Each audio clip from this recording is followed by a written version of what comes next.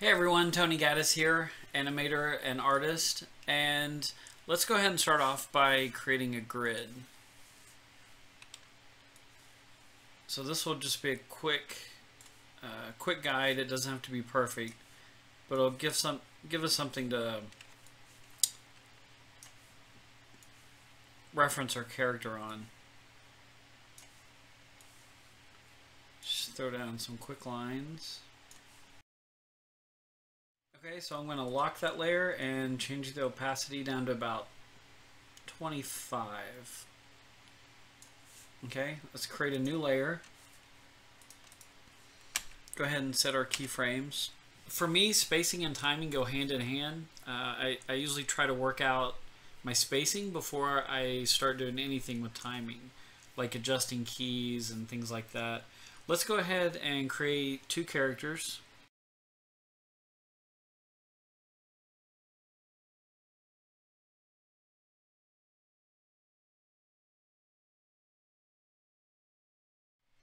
Okay, so our next drawing we're going to do at frame 9. And this will be our up pose. So they're each going to jump up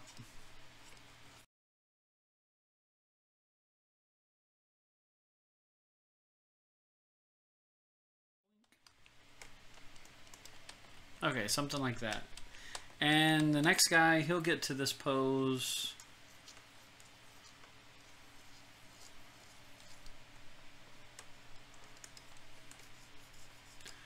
at the same time, frame 9.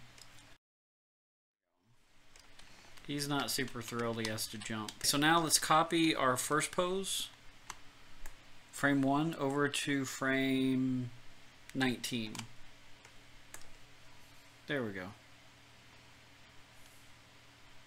Actually, let's put it on 17. That way we can do halvesies all the way on our time. So, so we have 1, 9, 17. Okay, so they're jumping up and coming back down to this first pose. I just want to show you how you can, um, the timing can stay the same, but you can play with spacing in your drawings to get a different feel. So the character on the left, we'll make him have more of a quick, kind of quick, he holds it in the air and then comes down, and the character on the right will kind of have an even keel kind of jump or just kind of a little more monotone. And so I'll show you how we achieve that. The first character let's go to frame 5 set a key and we're gonna favor this up pose.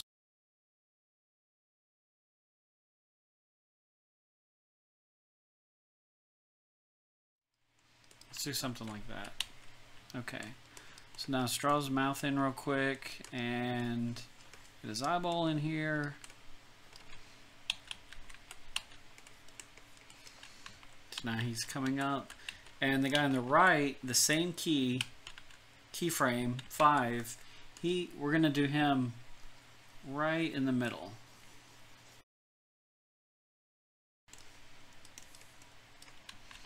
Okay.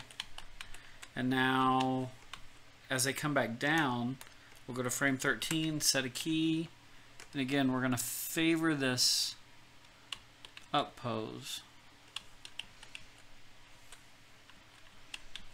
You know what, let's do something a little different on him. Let's favor the top of his head, but let's bring his body, let's stretch it down like this.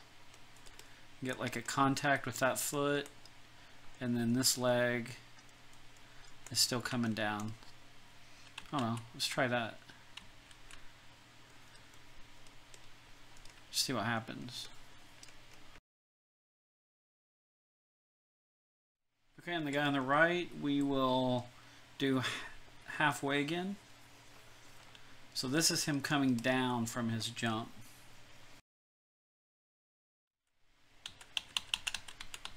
Okay, now let's break this down a little bit more. On frame 3, set a keyframe. And I'm going to change the onion skinning a little bit. To turn some of these off so it's not so confusing. Okay, so he's up. So this is him coming up. So again, let's favor this kind of up pose a little. There we go. Okay, he got a little bit smaller on this drawing, so I'm going to scale him up just a bit. There we go. Okay, and so going back to frame 3, we're going to draw the guy on the right.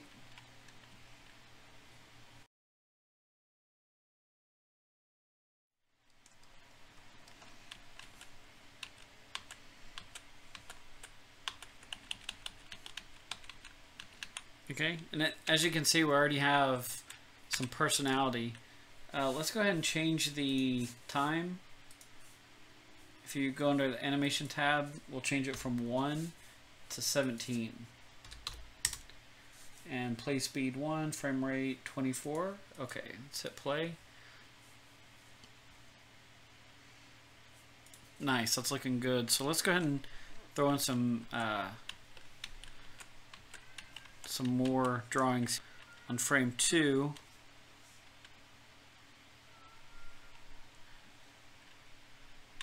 Well, before we do that, let's go to frame 7, insert a key. And so what we're going to do is continue to this drawing at frame 9.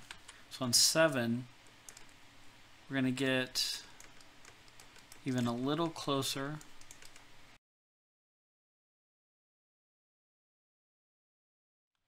And the guy on the right, let's go halfway.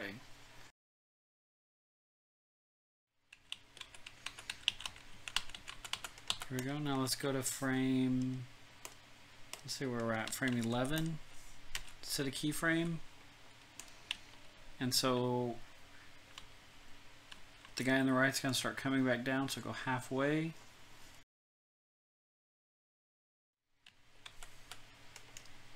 Now we'll go to frame 15, set a key, go halfway again.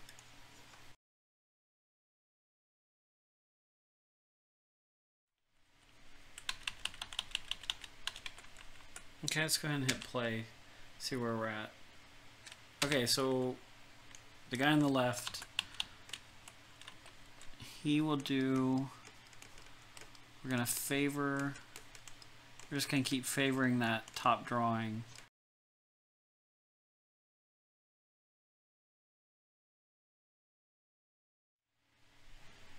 Okay, so that's our basic spacing.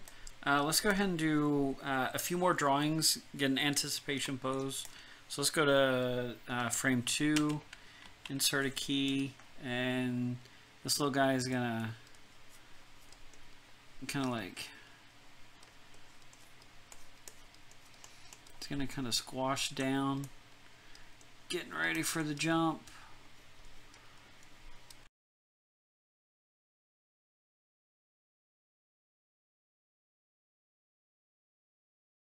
Comes down, jumps up. Okay, let's have him land before he comes up.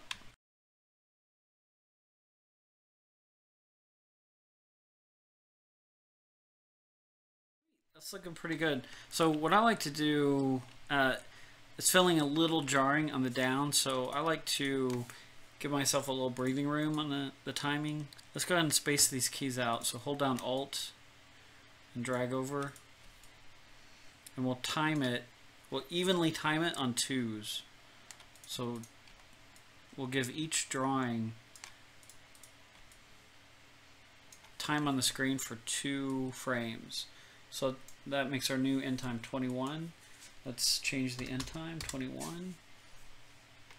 All right, let's see what that looks like. Okay, cool. So we have these two little guys jumping and uh, they can they feel different. One is reaching the top faster, holding it, stretching down. The other one is just kind of even keel. You know, um, he's not amused that he has to be jumping. So, um, yeah, if you have any questions, feel free to leave them in the comments. And happy animating, and I'll see you next time. Thanks for watching.